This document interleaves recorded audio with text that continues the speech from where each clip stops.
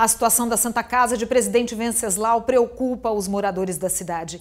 A instituição tem uma dívida milionária. Há setores sem atendimento e faltam medicamentos. Repasses defasados do SUS e um esquema de desvios de verbas pioram ainda mais a situação. Agora o hospital busca o apoio do comércio e da população. Um ano e meio. Esse é o tempo que a UTI da Santa Casa de Presidente Venceslau está pronta, mas não funciona por falta de recursos financeiros. A crise instalada tomou conta de vários outros setores. O mais preocupante é o de medicamentos. A prateleira aqui deveria estar lotada com soro. E só tem três caixas. O estoque geral, segundo a administração, dá para apenas uma semana. Então a gente faz a compra de segunda a sexta repõe o que precisa para o final de semana e já se, se mobiliza para saber o que, que vai precisar para cada paciente, para a gente manter em estoque aquilo e poder manter funcionando. Afundada em dívidas, a Santa Casa vive um drama. Não tem de onde tirar os cerca de 4 milhões de reais para sair do vermelho os salários dos médicos e o pagamento dos fornecedores estão atrasados. 29 funcionários já foram demitidos e a demanda de pacientes aumentou com o fechamento da Santa Casa do município vizinho, Santo Anastácio.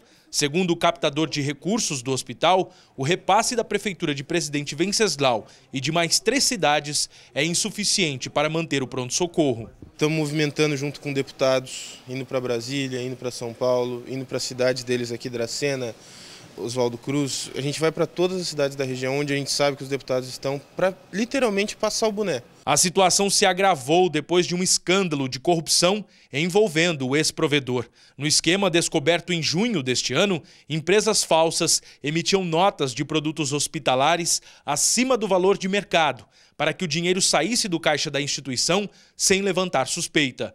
A população está preocupada. Se fechar, vai ficar complicado. Porque daí para onde a gente vai? Essa aqui é a segunda cidade daqui, da região, a maior. E se fechar, que o povo vai fazer? Para conseguir repor o que está em falta, a Santa Casa passou a contar com doações, como essas cestas básicas, que acabaram de chegar. Diversos setores da sociedade e a população como um todo se mobilizaram em nome da solidariedade. A dispensa da cozinha ficou cheia. A iniciativa de doações partiu de uma equipe médica que acionou também a associação comercial. Quando começou a surgir a falta de alimentos, daí a preocupação foi maior.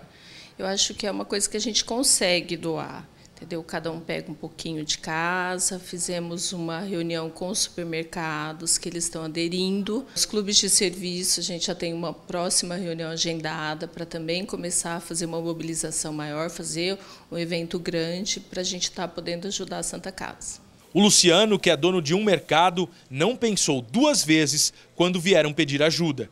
Ele mesmo seleciona os alimentos que serão doados e também deixou um carrinho na porta do estabelecimento para que os clientes possam ajudar. Eles colocam açúcar, chá, bastante mercadoria e eu vou para o Ceasa toda semana e toda vez que eu vejo uma coisa que está mais em conta lá no Ceasa, eu compro umas duas caixas e trago para doar para Santa Casa.